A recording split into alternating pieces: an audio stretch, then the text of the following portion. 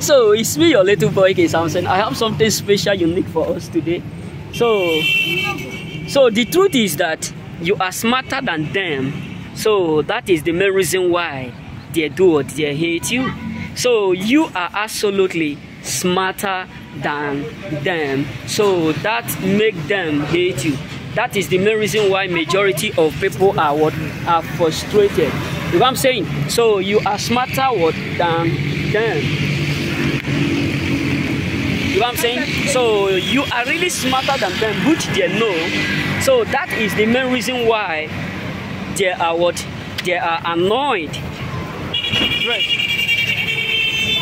So it hurt a lot of people because you are absolutely smarter than what than them.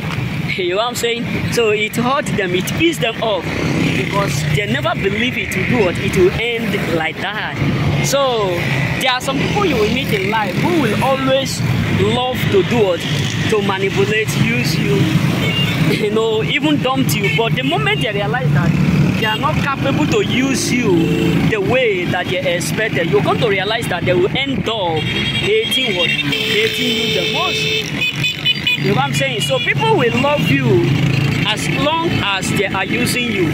But the moment they will they realize that they can't use you, you're going to realize that they will, they will end up hating every single thing around you.